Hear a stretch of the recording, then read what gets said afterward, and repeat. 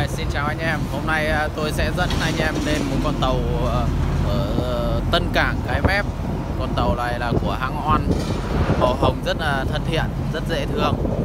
Tôi bây giờ tôi sẽ sang tàu đấy tôi giao lưu với anh em thuyền viên bên đấy. Đây, tàu đây.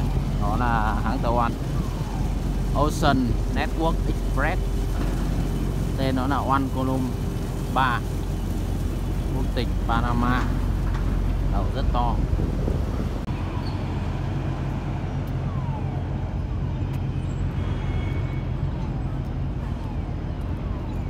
Rất to rất to các bạn ạ. Để tôi xem mớn nước nó là bao nhiêu nhé.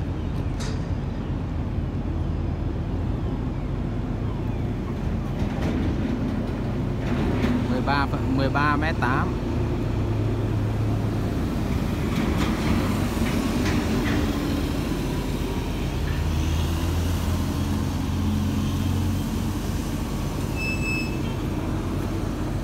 Cái bánh lái này. Cái bánh lái là đây này. Đây, đây là bánh lái này. Còn dưới này là cái chân vịt ở dưới này.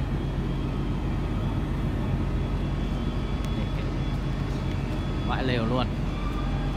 To khủng khiếp. Đây là một trong những con tàu ờ, to nhất đã từng vào Việt Nam. Là top một trong những con tàu to nhất đã vào những cảng của Việt Nam. Ờ, cái tân cảng cái mép này là cũng là một trong những cảng quốc tế ờ, tàu ờ, container to nhất Việt Nam mà có, có tức là được xây dựng sớm nhất Việt Nam. Bây giờ ở ngoài Hải Phòng thì có cái cảng Tân Cảng Này Huyện. Cũng là của bên quân đội Tân Cảng liên kết với rất nhiều đơn vị cả trong và ngoài nước. Xây dựng cái cảng và phát triển khu vực phía Bắc. Việt Nam thì có chợ Vũng Tàu này thì cái hệ thống cảng container nó rất là lớn, rất to. Nhiều tàu nhiều tàu nước ngoài và tàu chạy ờ, châu Á, châu Mỹ, chạy Canada phía châu Mỹ là có chạy ờ, Singapore, Tân Cảng, cái mép Vũng Tàu, Hồng Kông, Đài Loan, Trung Quốc. Hàn Quốc, Nhật Bản và đi Canada.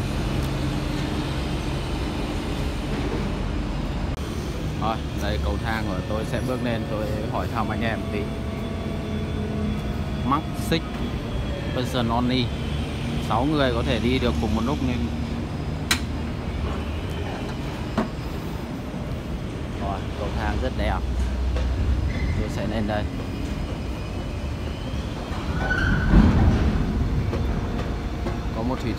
Tám giờ.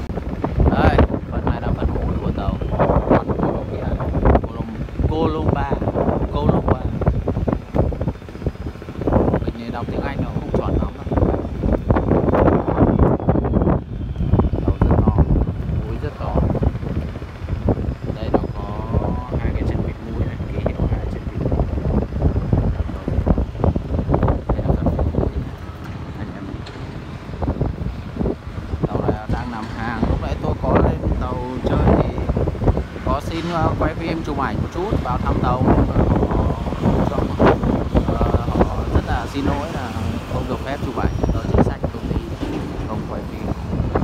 Về tôi sẽ đứng ở đây xong ạ. À, tôi sẽ so sánh cái mũi của tàu này với cả những cái tàu uh, bên cạnh xem độ to nó như thế nào. Cho anh em hiểu hiểu hiểu rõ hơn thì nó.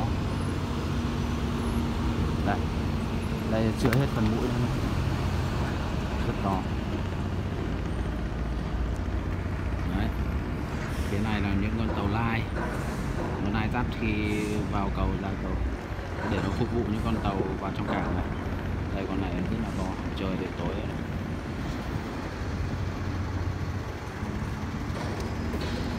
đây là AB Dương.